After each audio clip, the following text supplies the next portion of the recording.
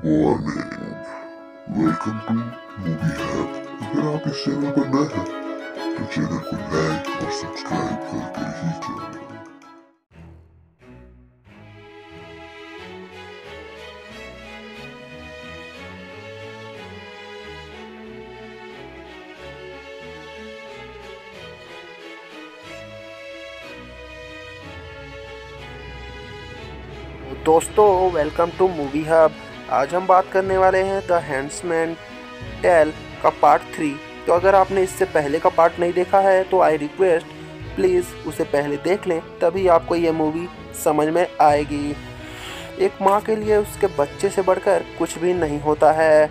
और क्या हो, जब अमीर लोगों की वजह से उससे उसका बच्चा ही छीन लिया जाए तो एक माँ क्या क्या कर सकती है, यही हम आज की मूवी में देखने वाले हैं।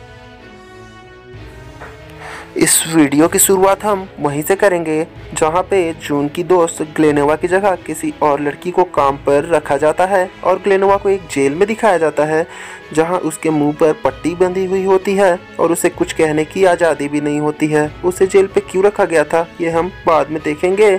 चेंज होता है और हमें जून के पास्ट का टाइम दिखाया जाता है, जहाँ वो अपनी नॉर्मल लाइफ जी रही होती है।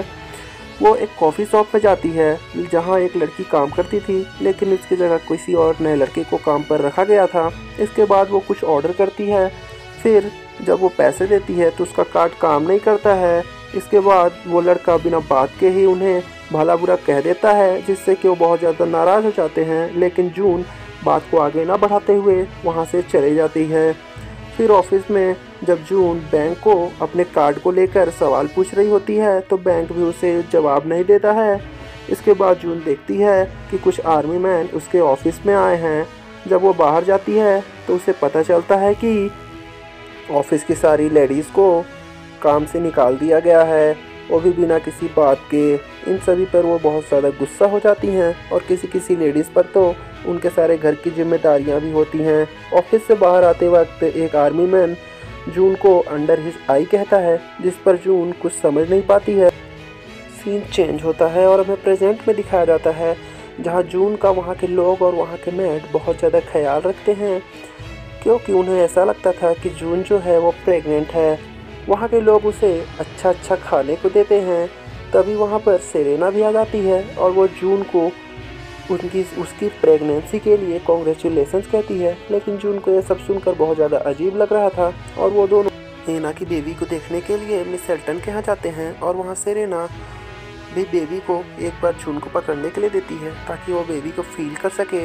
बेबी को देखकर जून को अपनी बेटी की याद आती है, तभी जून वहाँ पर मिस हेल्टन के द्वारा ये सुनती है कि जब आज हेना बेबी को दूध पिला रही थी तो मिस हेल्टन बेबी को लेने के लिए उसके पास गई थी तो हिना ने उसे ज़ोर से काट लिया था, जिससे कि मिस हेल्टन बहुत ही ज़्यादा नाराज़ थी और वो तो यहाँ तक कह रही थी कि वो जब बेबी दूध पीना बंद कर देंगी तो उसे काम से भी यहाँ से निकाल देगी। ये सब सुनकर जून बहुत ज़्यादा नाराज़ हो जाती है और वो चुपके से मिलने के लिए हेना के पास जाती है। जब वो हेना के पास जाती है तो हेना से भले ही उसकी बेबी छीन ली गई थी, लेकिन वो अभी भी अपनी बेबी को लेकर बहुत ज़्यादा खुश थी। तो जून उससे कहती है कि तुम्हें यह सब दोबारा नहीं करना चाहिए, क्योंकि ऐसा करने से तुम अपने आप को ही खतरे में डालोगी। हिना को इन सभी से कुछ फ़र्क नहीं पड़ता था, क्योंकि वो कहती थी कि जब तक वो बेबी को दूध पिला रही है, तब तक वो लोग उसकी हर बात मानेंगे और इससे उसे कोई फ़र्क नहीं पड़ता है। इसके बाद जून सेरेना से माफ़ी मांगती है, क्योंकि उसने बिना इजाज़त के ही हेना से बात करने की कोशिश की थी। फिर उसके बाद जब जून वापस घर आ रही होती है तो वो निक से उसकी फ्रेंड ग्लेनोवा के बारे में पूछती है। तो निक उसे कुछ जवाब नहीं देता है। निक ये जानता था कि जून जो है वो ग्लेनोवा की दोस्त है, और ये बात उसने अथॉरिटी को भी बता दी थी, जिसके बाद कुछ अथॉरिटी के लोग जून से ग्लेनोवा के बारे में पूछने के लिए उसके घर आए थे। जून एक सेकेंड भी देरी से जवाब देती तो वो लोग उसे इलेक्ट्रिक गन से शॉक देते थे। फिर उसके बाद वहाँ खड़ी एक लेडीज़ उससे पूछती है कि उसे क्या पता था कि ग्लेनोवा जो है, वो ट्रांसजेंडर है। तो ऐसा कहने पर जून कहती है कि ट्रांसजेंडर होना कोई जुर्म नहीं है। इसके बाद अथॉरिटी की लेडी उसे मारने लगती है। तभी वहाँ पर सेरेना आकर उसे बचा लेती है। ये कहकर कि जून प्रेग्नेंट है, जिसके बाद अथॉरिटी के लोग उसे कॉन्ग्रेचुलेसन कह के वहाँ से चले जाते हैं। अब सीन कट होता है और हमें पास्ट में दिखाया जाता है, जहाँ जून और मौर्या देश में लेडीज़ के लिए बदले हालात के लिए परेशान थी और वहाँ की सरकार ने एक नया रूल भी निकाल दिया था, जिसके तहत वहाँ की संपत्ति पर, वहाँ की लेडीज़ का कुछ भी अधिकार नहीं होगा।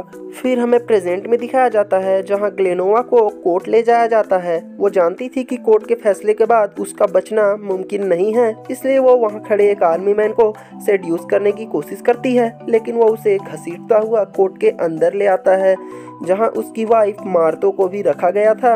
उन दोनों को एक के साथ सेक्सुअल रिलेशनशिप रखने के लिए मौत की सजा दे दी जाती है। उसके बाद उन दोनों को एक गाड़ी में बंद करके कहीं ले जाया जाता है। उन दोनों के मुँह पर पट्टी बंधी हुई थी, जिसकी वजह से वो दोनों एक दूसरे से बात नहीं कर पा रहे थे। लेकिन उनकी आँखें एक दूसरे के लिए सब कुछ बयां कर रही थीं। इसके बाद एक जगह गाड़ी को रोका जाता है और ग्लेनोवा की वाइफ मार्तो को बाहर निकाला जाता है। इसके बाद उसे फांसी की सजा दे दी जाती है। अपने आँखों के सामने अपनी वाइफ मार्तो को मरता हुआ देखकर ग्लेनोवा बहुत ज़्यादा दुखी होती है। इधर हमें निक को दिखाया जाता है, जो कि जून से माफ़ी मांगने के लिए उसके रूम में आता है, क्योंकि निक की ही वजह से जून की ये हालत हुई थी। वो दोनों यहाँ पर एक दूसरे के बहुत ज़्यादा करीब आ जाते हैं, लेकिन वो एक दूसरे की लिमिट को जानते थे, क्योंकि यह अथॉरिटी के खिलाफ था। इसके बाद निक वहाँ से चला जाता है। तब उसी रात जून को यह पता चलता है कि वो प्रेग्नेंट नहीं है और उसे सिर्फ़ देर से पीरियड्स आए हैं। इसके बाद अगेन सीन कट होता है और हमें पास्ट में दिखाया जाता है, जहाँ जून और मौर्या की तरह काफ़ी लोग सरकार के खिलाफ प्रोटेस्ट करने आए थे, लेकिन बात बहुत ही ज़्यादा बिगड़ जाती है। उसके बाद आर्मी के लोग गोली चलाने लगते हैं, लेकिन वो किसी भी औरत को नहीं मार रहे थे, सिर्फ़ वहाँ के मर्दों को ही मारा जा रहा था। इसके बाद बम धमाके से बचते हुए जून और मौर्या एक कॉफ़ी क्लब में घुस जाते हैं। इसके बाद अगेन सीन कट होता है और हमें जून को दिखाया जाता है। जून की प्रेगनेंसी की खबर सुनकर सेरेना बहुत ज़्यादा खुश थी और उसने तो बेबी के लिए एक अलग कमरा भी तैयार कर लिया था। लेकिन जून उसे सारी सच्चाई बता देती है कि वो प्रेग्नेंट नहीं है।